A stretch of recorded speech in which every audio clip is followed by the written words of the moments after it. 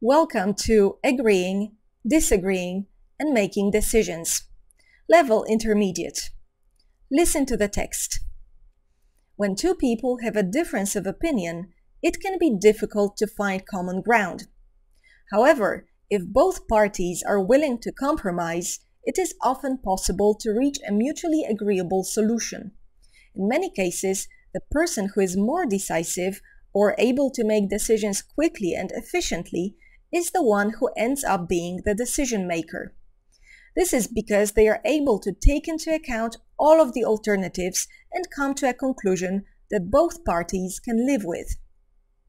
Even when considering all the perspectives, it's normal to have second thoughts, and even to change your mind after some time. Don't let anyone tell you it's rude to reconsider your decision. As long as you justify your change of heart and it's not an absurd one, there is no need to worry. Here we have some more words related to making decisions. A difference of opinion. It's when you disagree with somebody. To find common ground. This means the same as to compromise or to reach a consensus, to come to a conclusion, to reach a mutually agreeable solution, or simply to agree. Here, pay close attention to the verbs I use. The word decisive describes a person who can make decisions. The opposite is indecisive. A decision maker is a person who makes decisions. In a company, for example, it's the boss. We can say that the boss has the final say about everything. Take something into account. It means the same as to consider something or to take something into consideration. Alternatives is a more sophisticated word for options. To live with something means to agree but not be excited about something. For example, when someone says, from now on, we'll all wear green to work. Yeah, I can live with that. It's okay, I don't mind. Then we have the expression to have second thoughts. It means the same as reconsider, have doubts. To change your mind is simply to change your decision.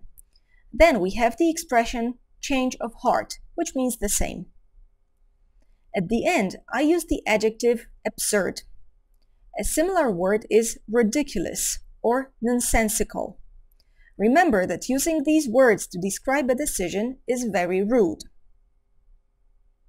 Let's practice. Fill in the gaps in the text.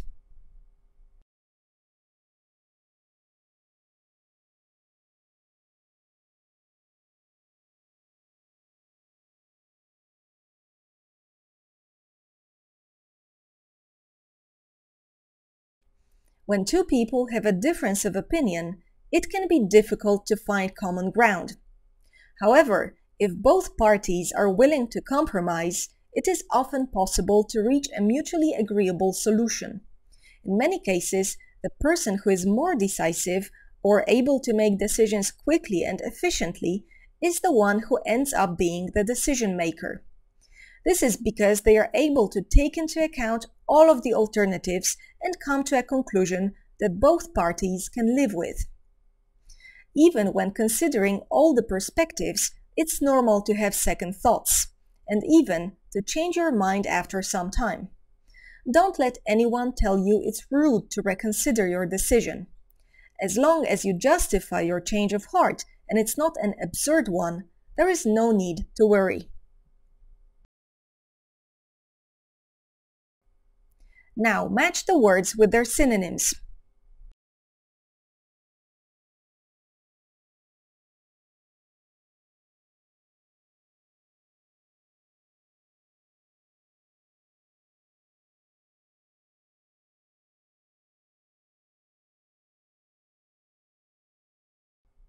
See you in the next module.